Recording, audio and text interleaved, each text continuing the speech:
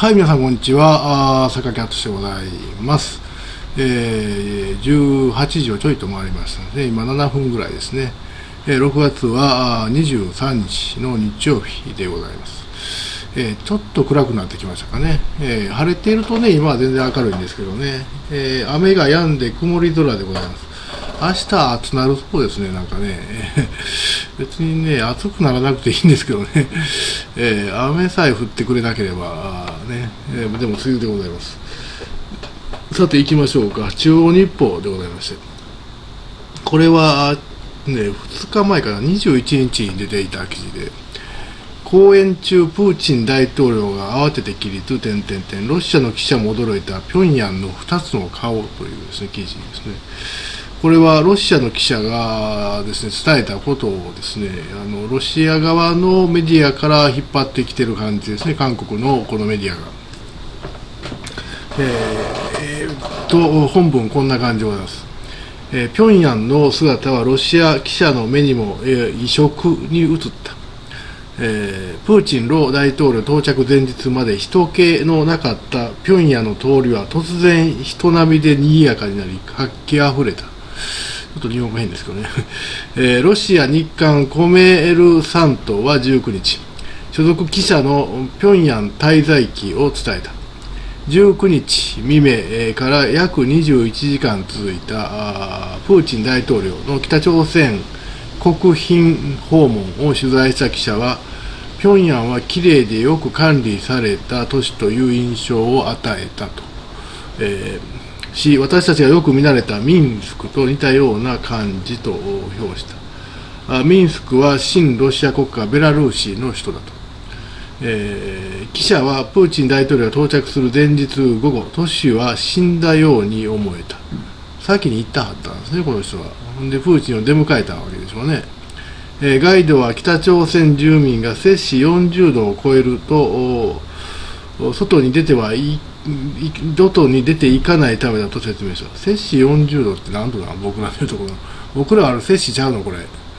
40度超えるような灼熱やったんですか？うん。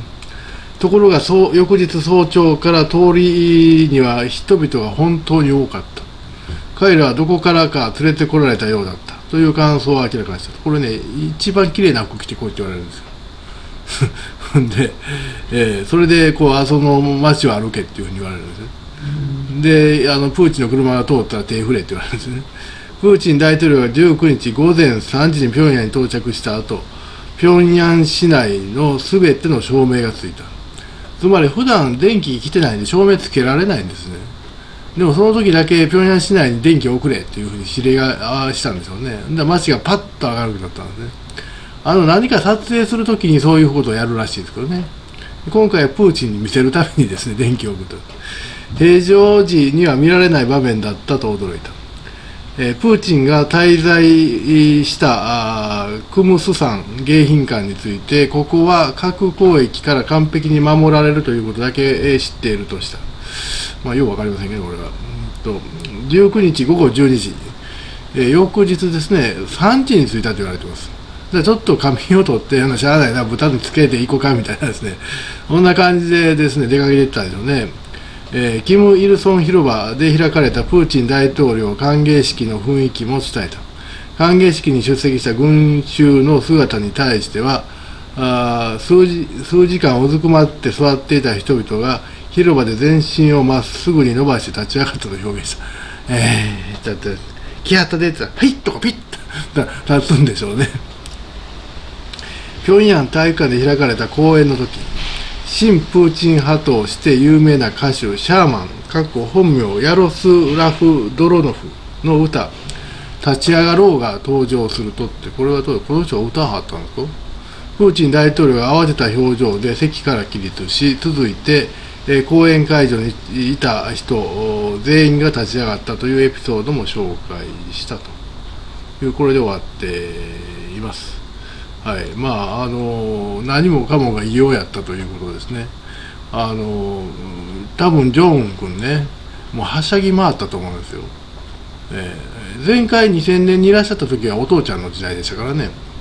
えー、今回ですね、えっと、ジョンウン君が迎えた国賓としては、確か2019年にね、僕知らなかったんですけど、習近平行ってるらしいですね、えー、平壌に。え、それに次ぐクラスであってですね、あの、まあ、習近平が来るのはね、まあ、なんとなくわかるんですけど、あのロシアからですね大統領が来るというのはですね24年ぶりですからね、それはそれはすごいことでございます。えー、で、これで俺も世界が認められたんや。わしも世界に認められた指導者やというふうにあの豚がですね勘違いするんでしょうけどね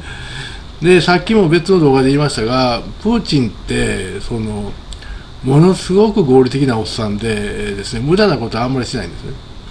えー、で今回は無駄なことではないんですねプーチンにとっては。平壌に行く豚の機嫌を取るということはですねえー、豚をおだててですね木に登らせなあかんわけですよ。まあ木に登らせるってオーバーですけど要は武器弾薬もっとよこせというのともしかしたらですね北朝鮮の部隊軍隊ですねをよこせと。いうようなことを密約ができたのかもしれません。そういう密約をしに行ったのかもしれません。あの別の記事を読んだんですけども最前線に出すのではなくって後方警備ですね前線の後ろ側でですね警備に当たるぐらいであればできるんちゃうかと要はあの言葉の問題とかありますけどもそういう任務であればできるんちゃうかという話もあります僕はね最前線出すと思いますよあのもしあの来いって言うんであればあの来いというかなんていうか話ができていくっていうになればですねだから多分今頃ロシア語の猛特訓してるんじゃないですか北朝鮮軍のあの将校たちは。